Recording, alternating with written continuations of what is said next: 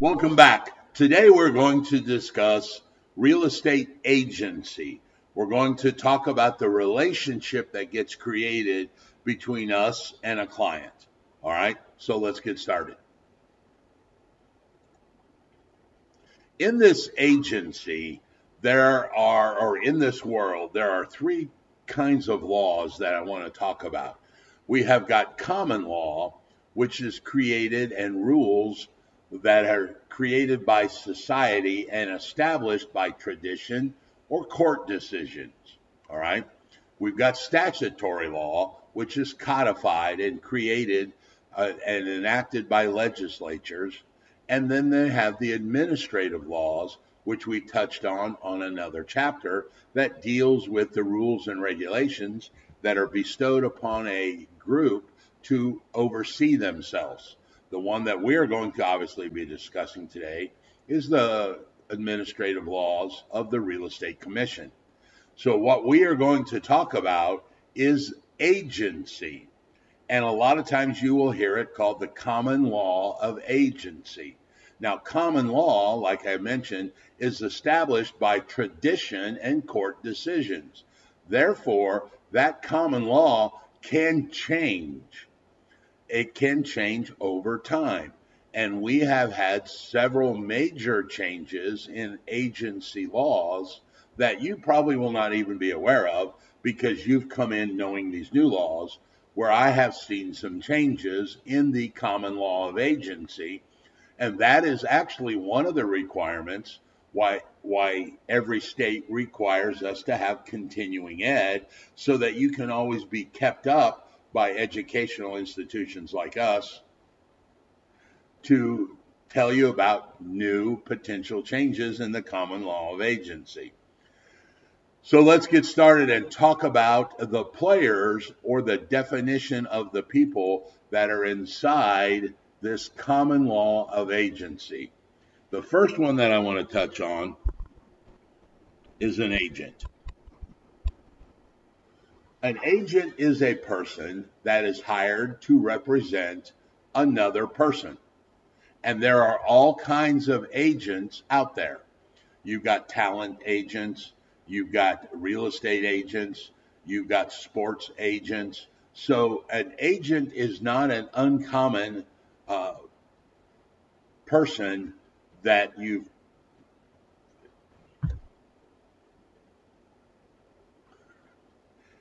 a good day to start. An agent is not an uncommon thing because there are many different types of agents out there. Now, the second person that I want to talk about is this person called a client. And that client actually has several different names by which you will hear it called inside of uh, our real estate world. Another word they could call them is the principal in the deal. Another common one that you will hear them called, and probably this is the most common, is the seller. Or remember, there's an agent on both sides, so it could be the buyer, depending on what side you're working on. So your client could be the principal or could be a seller of the property. All three of those words you will hear used interchangeably to mean the same person. Now, the relationship that is between these two people is called an agency relationship. There is a created relationship between the client and the agent. That relationship is called agency.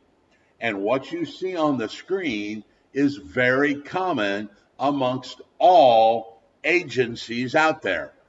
When you talk about sports agencies, there is an agent and their client. When you talk about talent agencies, there is a, an agent and the client. When you talk about real estate agencies, there is an agent and a client. So this is a very common structure amongst all agencies out there. Where the difference lies are in the uh, uh, duties that are given called the fiduciary. That's a real fun word to say. Obligation. That fiduciary obligation is what defines that agency. That's where the difference starts coming in. So let me explain. So you guys all know Peyton Manning or remember him as a great football star. He had a sports agent. Their relationship was an agency relationship. But what that agency relationship required or the fiduciary duties that were required is where it differs between a seller and a real estate agent who also have an agency, but the fiduciary responsibilities for the real estate agency are different than the fiduciary responsibilities between a sports star and the sport agent. That's where the definition changes. That's where the difference lies, is in the fiduciary obligations of the agent to their client. So a client is someone with whom you have agency with. All right. There is a second person here I want to talk about. It is called a customer. A customer is a person with whom you have no agency with. So the difference between this client and this customer is this obligation called agency. And the reality of this whole job is that your job is to find a customer, someone that you have no agency with, and turn them into a client by creating agency and listing their house for sale or helping them find a house to buy, depending on what side. So that is the difference between a client and a customer. All right. And all you need to do, very simple, find a customer, turn them into a client. So let's say you're standing in line at Starbucks waiting to get your coffee, and the person in front of you who you do not know is technically a customer to you you owe them no fiduciary responsibilities. Nothing. Now, you do owe them normal human things like politeness, don't lie to them, don't try and cheat them. Those are all things that you should uh, expect from any human, from one human to another. So yeah, you still owe that. You you know you can't be rude to them. You don't want to lie to them but you owe none of the fiduciary obligations, which we're going to get to here in just a minute, to this person because they are a customer. So you overhear this person in front of you say, Wow, I really want to sell my house. I wish I knew a real estate agent. And you tap them on the shoulder and go, Hey, my name is Raymond Modulin. I work for the Modulin Group. Uh, I'm a licensed realtor. I would love to list your house for sale. And they say, okay, let's do it. And you have created an agency and now made that customer a client. And because you have now created this agency and you have created a client, you now owe them all the fiduciary obligations that is required by the definition of what our agency requires, and we're going to talk about them. So this is the typical setup of this system where a client comes in, where a customer comes in. All right. Now, in the book, they mention this word called a transactional broker or a non agent. Non agent. A non agent is often you hear it called a facilitator, an intermediary, a transactional broker. They are a person who assists both parties without an agency on either side. Now, I will tell you, most states do not allow this. Indiana has a problem with it. Florida can do it. All right. So let's go back over here. So what I'm saying is this, and let's see if I can do this on this video. When I have a client, the most common thing is I have a client that I'm working for. When we go to closing, I am sitting on my side of the table, and they call these a side because it comes from the side of the table. On this side of the table beside me is my client. We are agent and client because I have agency with that person. But watch this.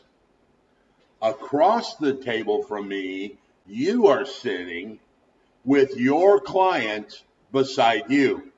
You are the buyer and he's the buyer and you're the agent. You have an agency relationship with him. But your client is my customer, right? I still owe them customer level stuff. I still owe them humanistic level stuff.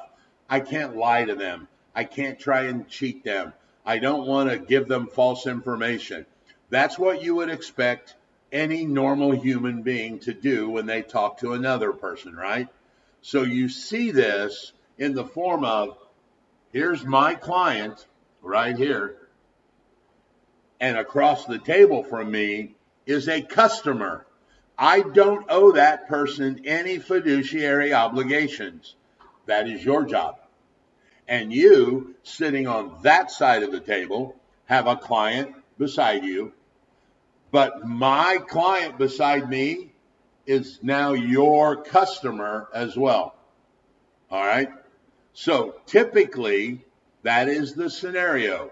There are two agents involved, one representing the seller and one representing the buyer. That is called single agency. But your client is my customer, and you, my client is your customer. Cool? What a non agent is would be someone who represents neither person, but still assists them in completing a deal. So, the most common time you see this happen is like for sale by owners. We've mentioned this before. They're called FSBOs. This for sale by owner. They may come to you and go, Hey, look, Raymond, I don't need your help brokering which is what we do. I've already found the buyer. I don't know how to fill the form out. Can you give me some advice? And I would say yes. And in essence, um, what I'm doing is this I have no loyalty to either party. I am mainly saying, okay, seller, sign here, buyer, sign here, sign here, put a date there and I represent or have no agency with either one of the parties. All right. That is a non agent. And I cannot help either one of the people because that's what creates the agency. So they say, Oh, well, thank you for helping me, but do you think I could have got a better deal? I don't know. I can't help you. I can't talk to you about it because I'm not your agent. Most states have a problem with this. This used to be a common thing that agents would do, and they would charge a flat fee and say, Oh, you found the buyer and you just want me to help you sign the documents. I'll charge you $500 and I'll tell you where to sign and where to date and what to do and all that.